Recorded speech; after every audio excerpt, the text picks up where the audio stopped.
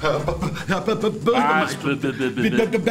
Sag das gleich. Ähm, Du nicht um. Ich bin furchtbar nervös. Jetzt schwätz, was Ja, gibt's? uns, wir kennen wieder Was? auf die Bühne. Also, klasse. Oh, und wo? Äh, In der Meulesmühle und auf Gastspieltour. Du musst, wir können uns wieder live erleben. Nagelneuen Sketchen. So, so. Äh, wa- Was muss ich machen, damit ich mich sehen? Ja, Sie müssen sich halt eine Eintrittskarte kaufen. Ja, und wo gibt's sie? Wie immer.